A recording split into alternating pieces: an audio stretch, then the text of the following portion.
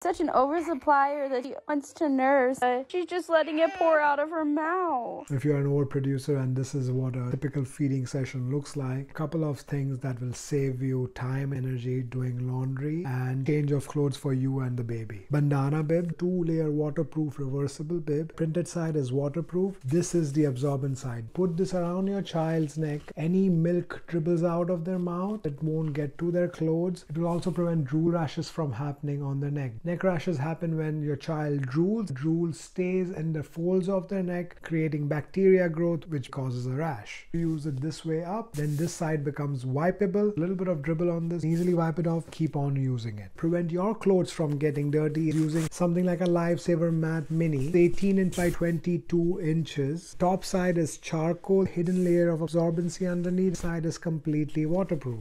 Lay your child on your hand, even if you're using a pillow. Don't want your pillow getting soiled